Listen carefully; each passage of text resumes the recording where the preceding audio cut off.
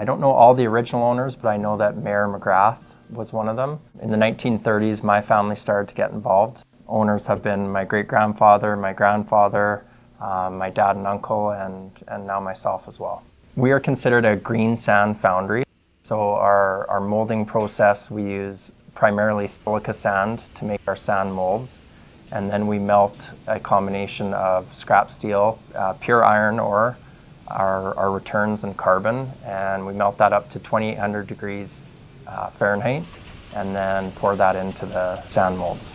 After the molds are poured, they go through a cooling process. After a certain amount of time, they're shaken out into what we call oscillating conveyors. The guys sort them and then put them through a, a shot blast machine, which is steel BBs that get fired at the casting. And then after that, uh, the guys finish them up in the grinding room and then inspect them, and then they get shipped out the door.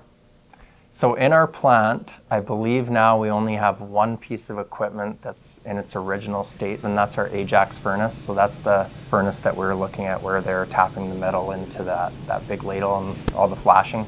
Our business is a little bit different than most. Our core purpose is to provide growth and stability for generations. So we don't always do everything for a quick payback. We do um, what we think makes sense for the next generation of Lethbridge Ironworks employee. So we do stay very automated. We stay on top of technology. You know, every year we're, we're replacing some of our equipment with, with kind of the latest, greatest. And we also have an in-house engineering team that engineers a lot of the, of the equipment that we have. About 65% of what we make goes to the US and the other 35 is in, in Canada. That's as far as we currently go. And most of our customers, we actually don't really have any customers in Lethbridge and, and not many even in Alberta.